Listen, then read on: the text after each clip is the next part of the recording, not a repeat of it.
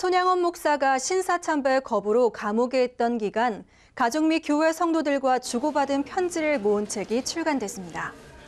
신간 손양원의 옥중서신은 사단법인 손양원 정신문화개생사업회가 추진하고 있는 손양원의 전집의 제1권입니다.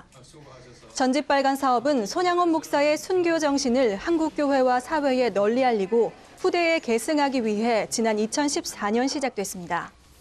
이번 손양원의 옥중서신은 손 목사의 생전 기록 중에서 옥중 서신 부분만 추려 펴낸 것으로 모두 73편의 편지가 실렸습니다.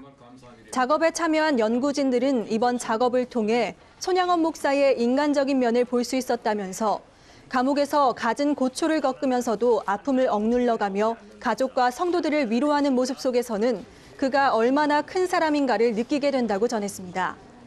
책에서는 손양원 목사의 눈물과 땀이 밴 친필 편지 원문 사진과 함께 대중들이 쉽게 읽을 수 있도록 현대어로 번역된 편지 내용을 확인할 수 있습니다.